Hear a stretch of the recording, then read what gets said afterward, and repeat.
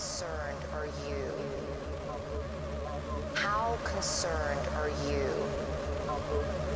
How concerned are you? How concerned are you? How concerned? How concerned are you?